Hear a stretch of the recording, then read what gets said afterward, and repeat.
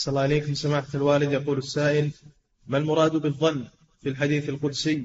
أنا عند حسن ظن عبدي بي فليظن عبدي بي ما شاء.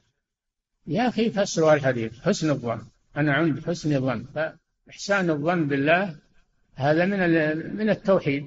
هذا من التوحيد. وسوء الظن بالله هذا من من آه، نقص التوحيد أو عدم التوحيد. نعم.